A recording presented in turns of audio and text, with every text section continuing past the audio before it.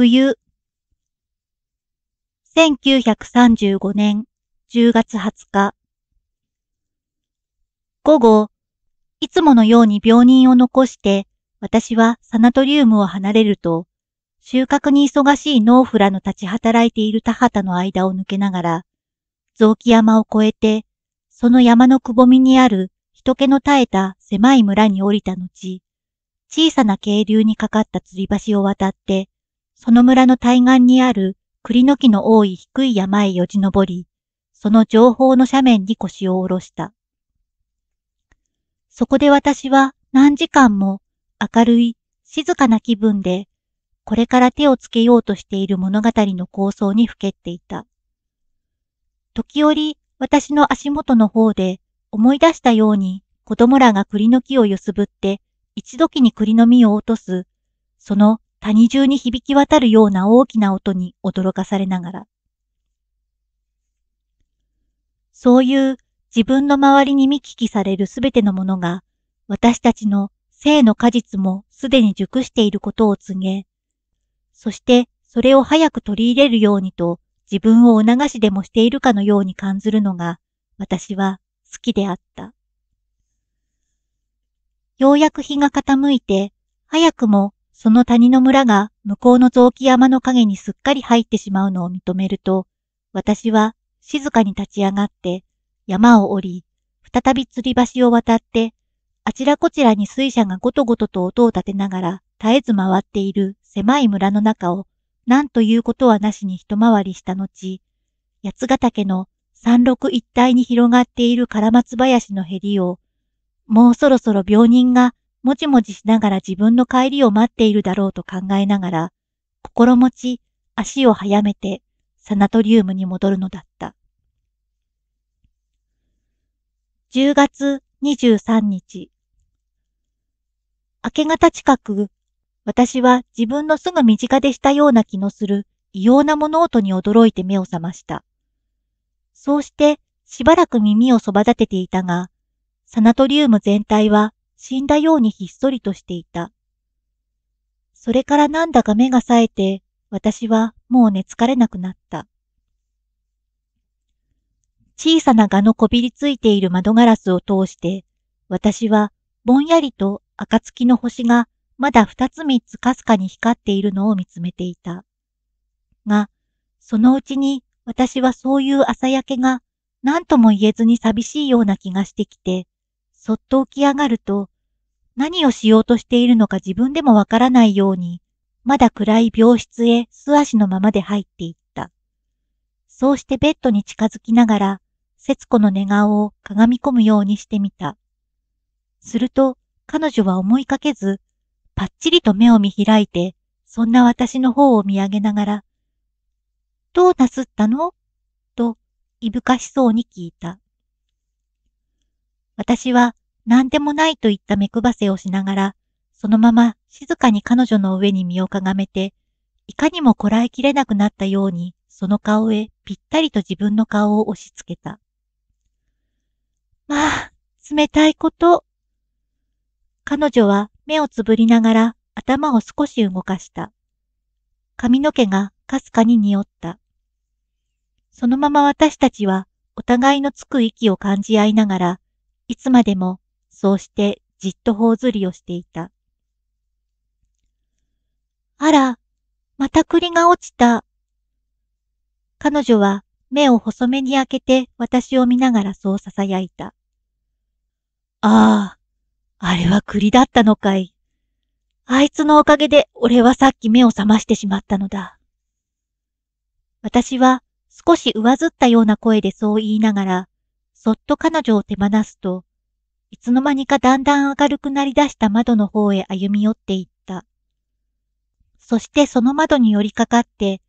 今しがた、どちらの目から滲み出たのかもわからない熱いものが、私の方を伝うがままにさせながら、向こうの山の背に、いくつか雲の動かずにいるあたりが、赤く濁ったような色合いを帯び出しているのを見入っていた。畑の方からは、やっと物音が聞こえ出した。そんなことをしていらっしゃると、お風邪をひくわ。ベッドから彼女が小さな声で言った。私は何か気軽い調子で返事をしてやりたいと思いながら彼女の方を振り向いた。が、大きく見張って気遣わしそうに私を見つめている彼女の目と見合わせると、そんな言葉は出されなかった。そうして無言のまま窓を離れて自分の部屋に戻っていった。それから数分経つと、病人は明け方にいつもする抑えかねたような激しい咳を出した。再び寝床に潜り込みながら、私は何ともかとも言われないような不安な気持ちでそれを聞いていた。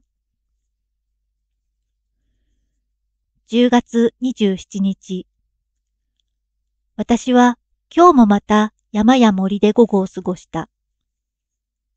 一つの主題が終日私の考えを離れない。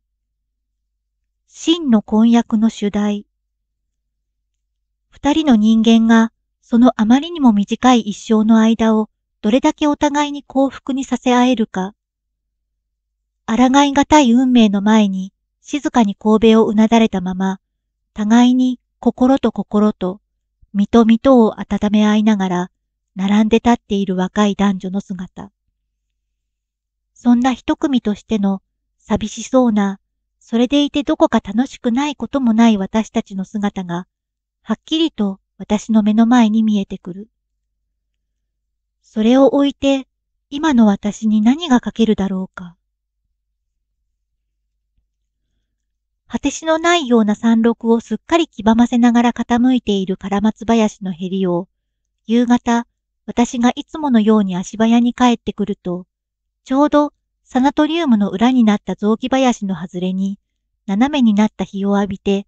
髪を眩しいほど光らせながら立っている一人の背の高い若い女が遠く認められた。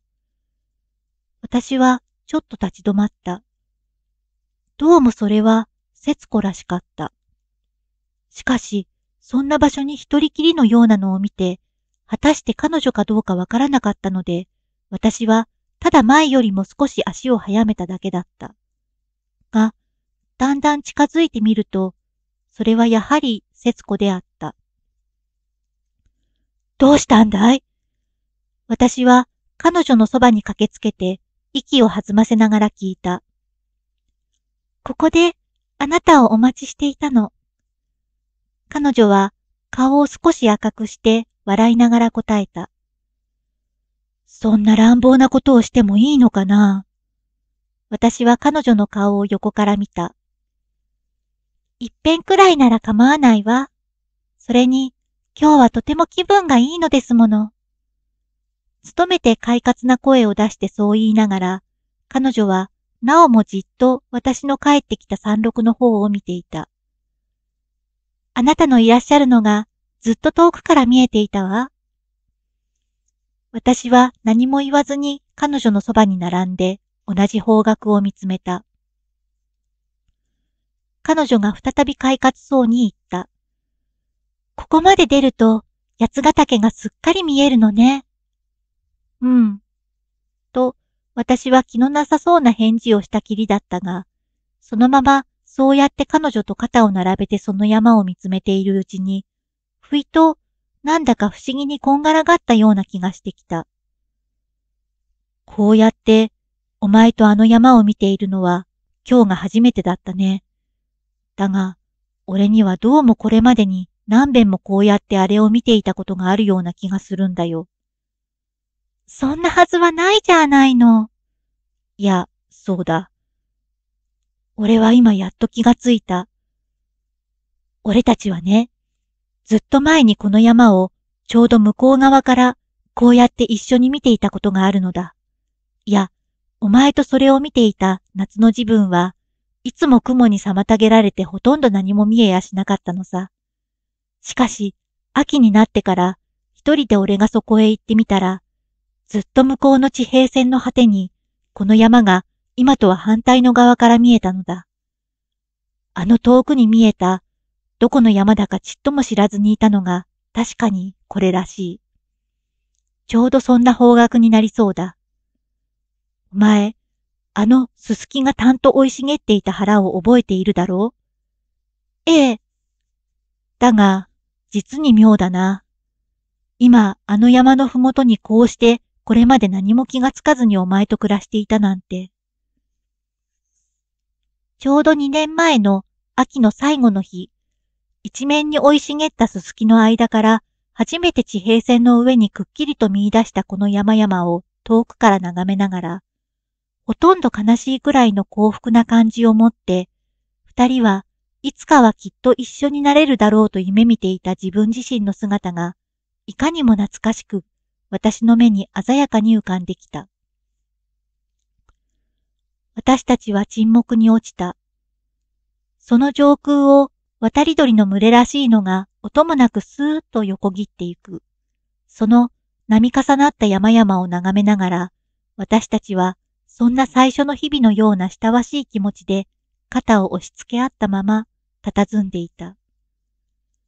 そうして私たちの影がだんだん長くなりながら草の上を這うがままにさせていた。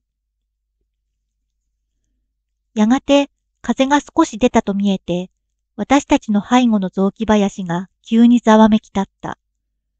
私は、もうそろそろ帰ろう、と、ふいと思い出したように彼女に言った。私たちは絶えず落ち葉のしている雑木林の中へ入っていった。私は時々立ち止まって、彼女を少し先に歩かせた。二年前の夏、ただ彼女をよく見たいばかりに、わざと私の二散歩先に彼女を歩かせながら、森の中などを散歩した頃の様々な小さな思い出が、心臓を締め付けられるくらいに私のうちにいっぱいに溢れてきた。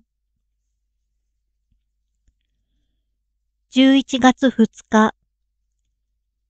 夜、一つの明かりが私たちを近づけ合っている。その明かりの下で、物を言い合わないことにも慣れて、私がせっせと私たちの性の幸福を主題にした物語を書き続けていると、その傘の影になった薄暗いベッドの中に、節子はそこにいるのだかいないのだかわからないほど物静かに寝ている。時々私がそっちへ顔を上げると、さっきからじっと私を見続けていたかのように私を見つめていることがある。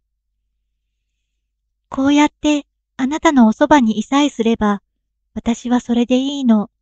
と私にさも言いたくってたまらないでいるような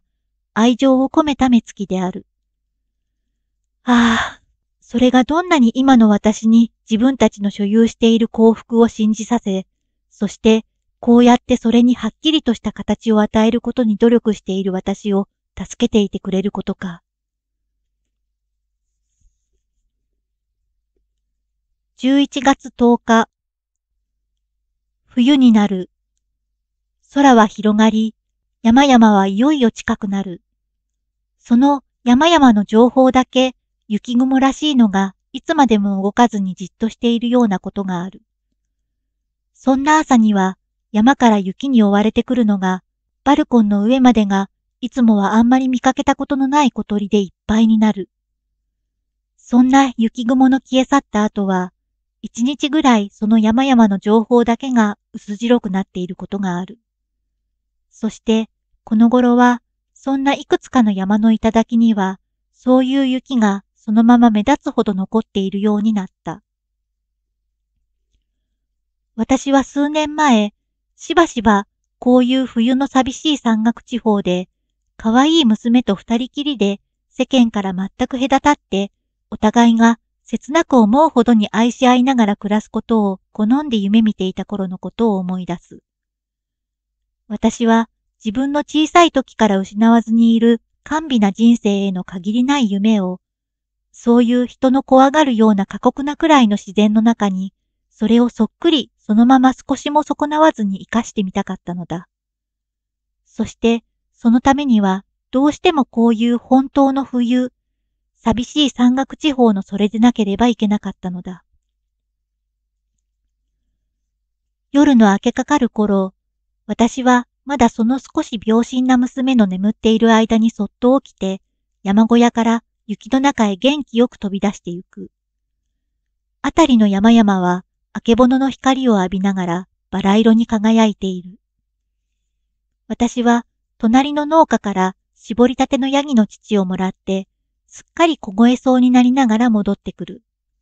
それから自分で暖炉に焚き木をくべる。やがてそれがパチパチと活発な音を立てて燃え出し、その音でやっとその娘が目を覚ます自分には、もう私はかじかんだ手をして、しかし、さも楽しそうに、今自分たちがそうやって暮らしている山の生活をそっくりそのまま書き取っている。今朝、私はそういう自分の数年前の夢を思い出し、そんなどこにだってありそうもない版画じみた冬景色を目の当たりに浮かべながら、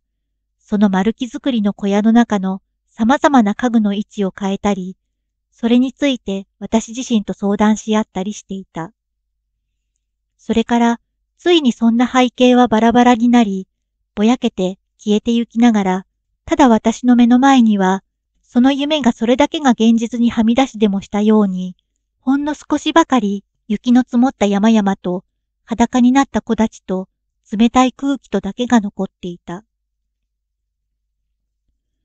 一人で先に食事を済ませてしまってから、窓際に椅子をずらしてそんな思い出にふけっていた私は、その時急に今やっと食事を終え、そのままベッドの上に置きながら、なんとなく疲れを帯びたような、ぼんやりした目つきで山の方を見ている節子の方を振り向いて、その髪の毛の少しほつれているやつれたような顔をいつになく痛々しげに見つめ出した。この俺の夢がこんなところまでお前を連れてきたようなものなのだろうかしら。と、私は何か悔いに近いような気持ちでいっぱいになりながら、口には出さずに病人に向かって話しかけた。それだというのに、この頃の俺は自分の仕事にばかり心を奪われている。そうして、こんな風にお前のそばにいる時だって、俺は現在のお前のことなんぞちっとも考えてやりはしないのだ。それでいて、俺は仕事をしながらお前のことをもっともっと考えているのだと、お前にも、それから自分自身にも言って聞かせてある。そうして、俺はいつの間にかいい気になって、お前のことよりも、俺のつまらない夢なんぞに、こんなに時間を潰し出しているのだ。そんな私の物言いたげな目つきに気がついたのか、病人はベッドの上からにっこりともしないで真面目に私の方を見返していた。この頃、いつの間にか、そんな具合に前よりかずっと長い間、もっともっとお互いを締め付け合うように目と目を見合わせているのが、私たちの習慣になっていた。11月17日。私はもう2、3日すれば、私のノートを書き終えられるだろう。それは、私たち自身のこうした生活について書いていれば、きりがあるまい。それをともかくも一応書き終えるためには、私は何か結末を与えなければならないだろうが、今もなおこうして私たちの生き続けている生活には、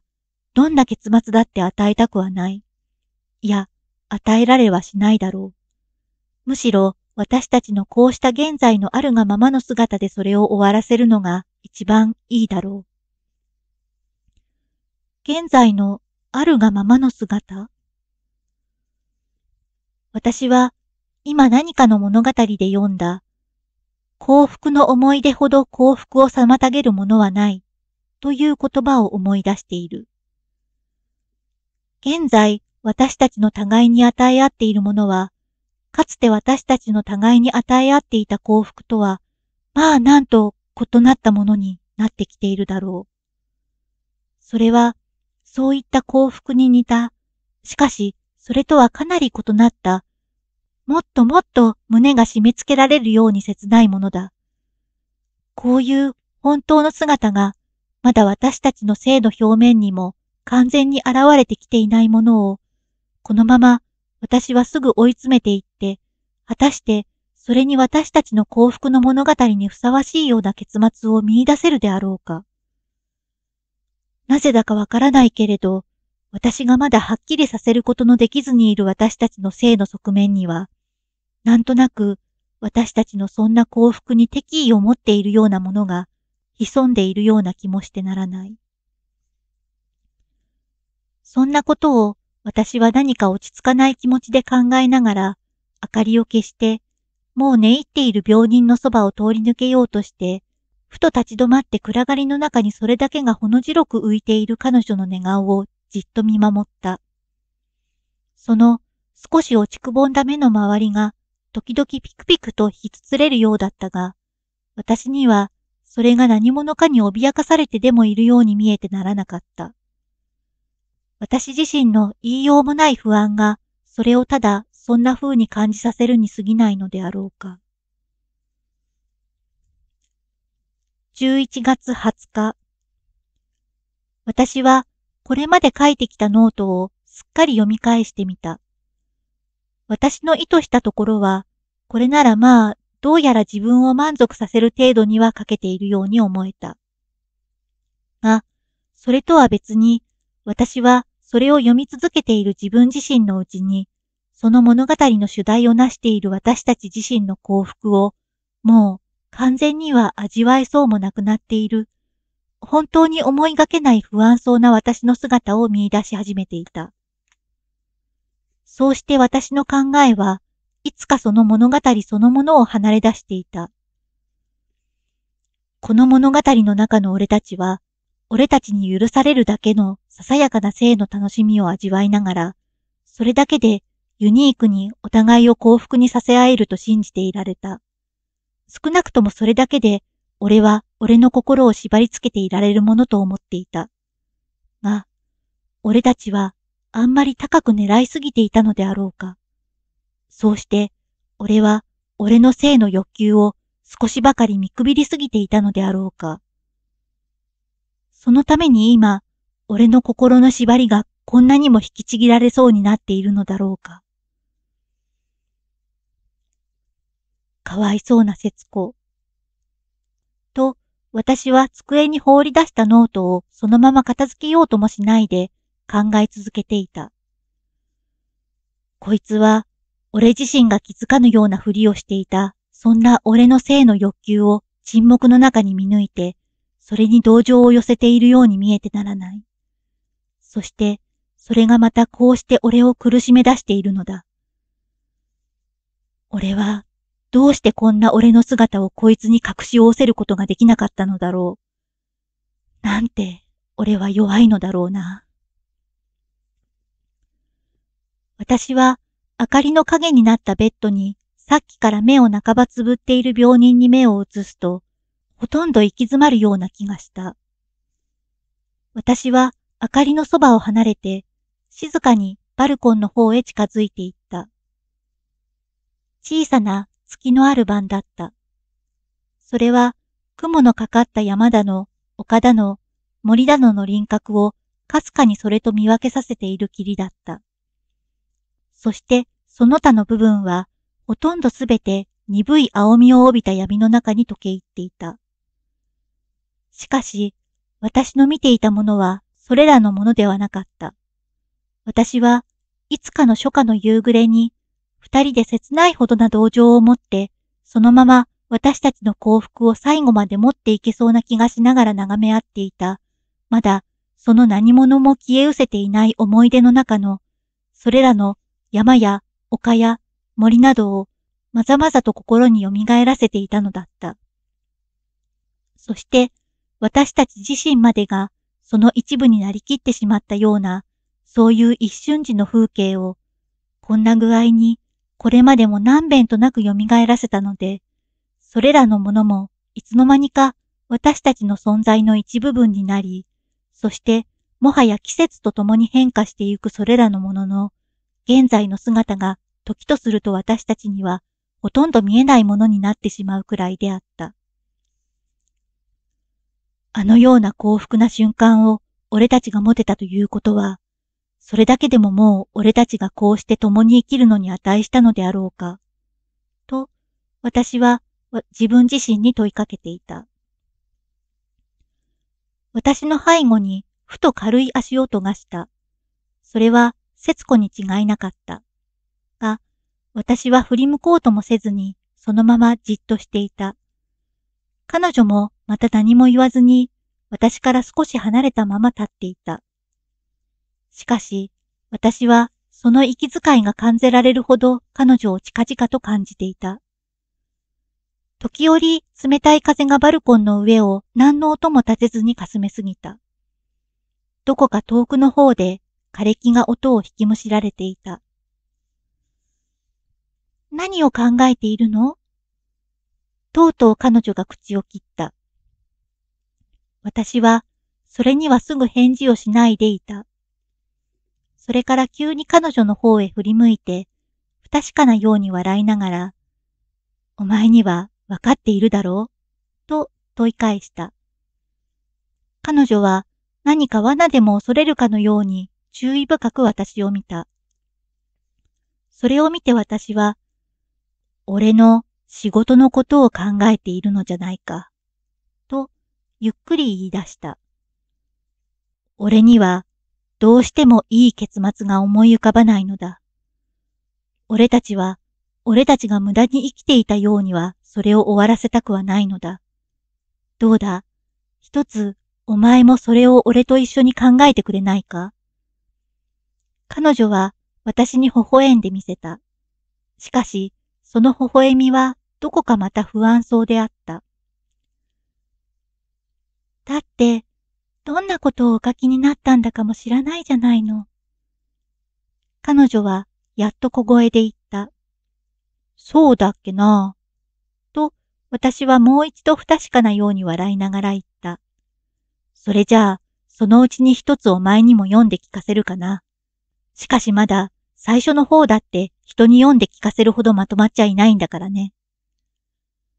私たちは部屋の中へ戻った。私が再び明かりのそばに腰を下ろして、そこに放り出してあるノートをもう一度手に取り上げてみていると、彼女はそんな私の背後に立ったまま、私の肩にそっと手をかけながら、それを肩越しに覗き込むようにしていた。私はいきなり振り向いて、お前はもう寝た方がいいぜ、と乾いた声で言った。ええ。彼女は素直に返事をして、私の肩から手を少しためらいながら話すと、ベッドに戻っていった。なんだか寝られそうもないわ。二三分すると、彼女がベッドの中で独り言のように言った。じゃあ、明かりを消してやろうか。俺はもういいのだ。そう言いながら、私は明かりを消して立ち上がると、彼女の枕元に近づいた。そうしてベッドの縁に腰をかけながら、彼女の手を取った。私たちは、しばらくそうしたまま、闇の中に黙り合っていた。さっきよりか風がだいぶ強くなったと見える。それはあちこちの森から絶えず音を引きもいでいた。そして時々それをサナトリウムの建物にぶっつけ、どこかの窓をバタバタ鳴らしながら、一番最後に私たちの部屋の窓を少しきしらせた。それに怯えでもしているかのように、彼女はいつまでも私の手を離さないでいた。そうして目をつぶったまま、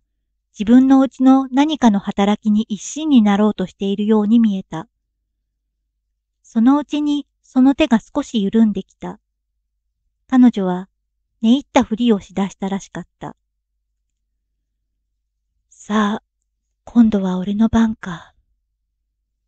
そんなことをつぶやきながら、私も彼女と同じように寝られそうもない自分を寝つかせに、自分の真っ暗な部屋の中へ入っていった。11月26日。この頃、私はよく夜の明けかかる自分に目を覚ます。そんな時は、私はしばしばそっと起き上がって、病人の寝顔をしげしげと見つめている。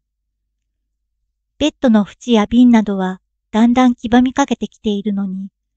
彼女の顔だけがいつまでも青白い。かわいそうなやつだな。それが私の口癖にでもなったかのように、自分でも知らずにそう言っているようなこともある。今朝も明け方近くに目を覚ました私は、長い間、そんな病人の寝顔を見つめてから、つま先だって部屋を抜け出し、サナトリウムの裏の裸すぎるくらいに枯れ切った林の中へ入っていった。もう、どの木にも死んだ葉が二つ三つ残って、それが風に抗っている霧だった。私がその空虚な林を出外れた頃には、八ヶ岳の山頂を離れたばかりの日が、南から西にかけて立ち並んでいる山々の上に低く垂れたまま動こうともしないでいる雲の塊を見る間に赤々と輝かせ始めていた。が、そういうあけぼのの光も地上にはまだなかなか届きそうになかった。それらの山々の間に挟まれている冬枯れた森や畑や荒れ地は、今、すべてのものから全く打ち捨てられてでもいるような様子を見せていた。私は、その枯れ木林の外れに、時々立ち止まっては、寒さに思わず足踏みしながら、そこいらを歩き回っていた。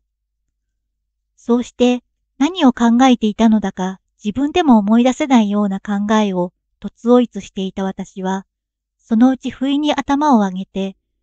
空がいつの間にか輝きを失った暗い雲にすっかり閉ざされているのを認めた。私はそれに気がつくと、ついさっきまでそれをあんなにも美しく焼いていたあけぼのの光が地上に届くのをそれまで心待ちにしてでもいたかのように、急になんだかつまらなそうな格好をして、足早にサナトリウムに引き返していった。節子はもう目を覚ましていた。しかし、立ち戻った私を認めても、私の方へは物憂げにちらっと目を上げたきりだった。そして、さっき寝ていた時よりも一層青いような顔色をしていた。私が枕元に近づいて髪をいじりながら額に接吻しようとすると、彼女は弱々しく首を振った。私は何にも聞かずに悲しそうに彼女を見ていた。が、彼女はそんな私をというよりも、むしろそんな私の悲しみを見舞いとするかのように、ぼんやりした目つきで空を見入っていた。夜、何も知らずにいたのは私だけだったのだ。午前の診察の済んだ後で、私は看護婦長に廊下へ呼び出された。そして私は初めて節子が今朝私の知らない間に少量の滑血をしたことを聞かされた。彼女は私にはそれを黙っていたのだ。滑血は危険という程度ではないが、用心のためにしばらく付き添い看護婦をつけておくようにと院長が言いつけていったというのだ。私はそれに同意するほかはなかった。私はちょうど空いている隣の病室にその間だけ引き移っていることにした。私は今、二人で住んでいた部屋にどこからどこまで似た、それでいて全然見知らないような感じのする部屋の中に、一人ぼっちでこの日記をつけている。こうして私が数時間前から座っているのに、どうもまだこの部屋は空虚のようだ。ここにはまるで誰もいないかのように、明かりさえも冷たく光っている。11月28日。私はほとんど出来上がっている仕事のノートを机の上に少しも手をつけようとはせずに放り出したままにしておいてある。それを仕上げるためにもしばらく別々に暮らした方がいいのだということを病人には言い含めておいたのだ。が、どうしてそれに描いたような私たちのあんなに幸福そうだった状態に、今のようなこんな不安な気持ちのまま、私一人で入っていくことができようか。私は毎日2、3時間おきぐらいに隣の病室に行き、病人の枕元にしばらく座っている。しかし、病人に喋らせることは一番良くないので、ほとんど物を言わずにいることが多い。看護婦のいない時にも、二人で黙って手を取り合って、お互いになるだけ目も合わせないようにしている。が、どうかして私たちが不意と目を見合わせるようなことがあると、彼女はまるで私たちの最初の日々に見せたような、ちょっと決まりの悪そうな微笑み方を私にしてみせる。が、すぐ目をそらせて、空を見ながら、そんな状態に置かれていることに少しも不平を見せずに、落ち着いて寝ている。彼女は一度、私に仕事ははかどっているのかと聞いた。私は首を振った。その時彼女は私を気の毒がるような見方をしてみた。が、それきりもう私にそんなことは聞かなくなった。そして一日は他の日に似て、まるで何事もないかのように、物静かに過ぎる。そして彼女は、私が代わって彼女の父に手紙を出すことさえ拒んでいる。夜、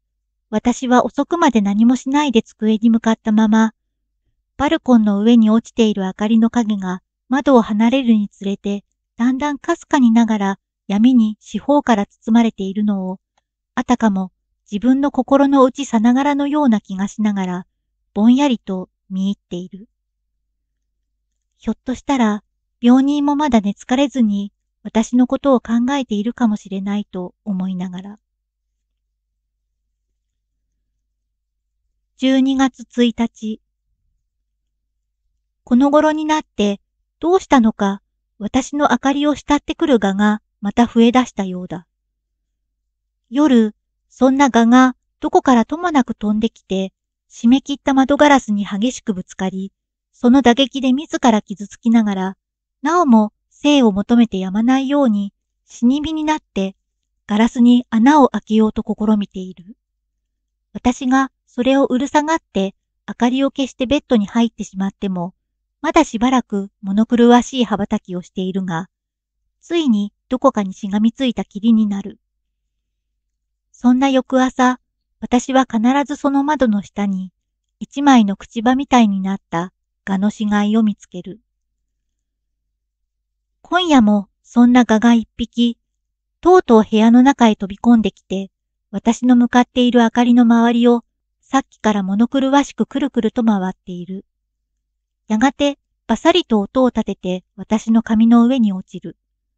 そして、いつまでもそのまま動かずにいる。それからまた自分の生きていることをやっと思い出したように急に飛び立つ。自分でももう何をしているのだかわからずにいるのだとしか見えない。やがてまた私の髪の上にばさりと音を立てて落ちる。私は異様な恐れからその画を追いのけようともしないで、かえってさも無関心そうに自分の髪の上でそれが死ぬままにさせておく。12月5日夕方、私たちは二人きりでいた。付き添い看護婦は今しがた食事に行った。冬の日はすでに西方の山の背に入りかけていた。そして、その傾いた日差しが、だんだん底冷えのしだした部屋の中を急に明るくさせ出した。私は病人の枕元でヒーターに足を乗せながら、手にした本の上に身をかがめていた。その時、病人が不意に、あら、お父様、と、かすかに叫んだ。私は思わずぎくりとしながら彼女の方へ顔を上げた。私は彼女の目がいつになく輝いているのを認めた。しかし、私はさりげなさそうに、今の小さな叫びが耳に入らなかったらしい様子をしながら、今何か言ったかい？と聞いてみた。彼女はしばらく返事をしないでいた。が、その目は一層輝き出したように見えた。あの、低い山の左の端に少し日の当たったところがあるでしょ？彼女はやっと思い切ったようにベッドから手でその方をちょっと刺して、それからなんだか言いにくそうな言葉を無理にそこから引き出しでもするように、その指先を今度は自分の口へあてがいながら、あそこにお父様の横顔にそっくりな影が今自分になるといつもできるのよ。ほら、ちょうど今できているのがわからない？その低い山が彼女の言っている山であるらしいのは、その指先をたどりながら私にもすぐわかったが、ただそこいら辺には斜めな日の光がくっきりと浮き立たせている山ひだしか、私には認められなかった。もう消えていくわ。あ、まだ額のところだけ残っている。その時、やっと私はその父の額らしい山ひだを認めることができた。それは、父のがっしりとした額を私にも思い出させた。こんな影にまで、こいつは心の内で父を求めていたのだろうか。ああ、こいつはまだ全身で父を感じている。父を呼んでいる。が、一瞬間の後には闇がその低い山をすっかり満たしてしまった。そしてすべての影は消えてしまった。お前、家へ帰りたいのだろう？私はついと心に浮かんだ最初の言葉を思わずも口に出した。その後ですぐ私は不安そうに節子の目を求めた。彼女はほとんどすげないような目つきで私を見つめ返していたが、急にその目をそらせながら、ええ、なんだか帰りたくなっちゃったわ。と、聞こえるか聞こえないくらいなかすれた声で言った。私は唇を噛んだまま、目立たないようにベッドのそばを離れて、窓際の方へ歩み寄った。私の背後で彼女が少し震え声で言った。ごめんなさいね。だけど、今ちょっとの間だけだわ。こんな気持ち、じきに治るわ。私は窓のところに両手を組んだまま言葉もなく立っていた。山々のふもとにはもう闇が固まっていた。しかし山頂にはまだかすかに光が漂っていた。突然、喉を締め付けられるような恐怖が私を襲ってきた。私はいきなり病人の方を振り向いた。彼女は両手で顔を押さえていた。急に何もかもが自分たちから失われていってしまいそうな不安な気持ちがいっぱいになりながら、私はベッドに駆け寄って、その手を彼女の顔から無理にのけた。彼女は私に抗おうとしなかった。高いほどな額、もう静かな光さえ見せている目、引き締まった口元。何一ついつもと少しも変わっていず、いつもよりかもっともっとおかしがたいように私には思われた。そうして私は何でもないのにそんなに怯えきっている私自身を、かえって子供のように感じずにはいられなかった。私はそれから急に力が抜けてしまったようになって、がっくりと膝をついてベッドの縁に顔をうずめた。そうしてそのままいつまでもぴったりとそれに顔を押し付けていた。病人の手が私の髪の毛を軽く撫でているのを感じ出しながら。部屋の中までもう薄暗くなっていた。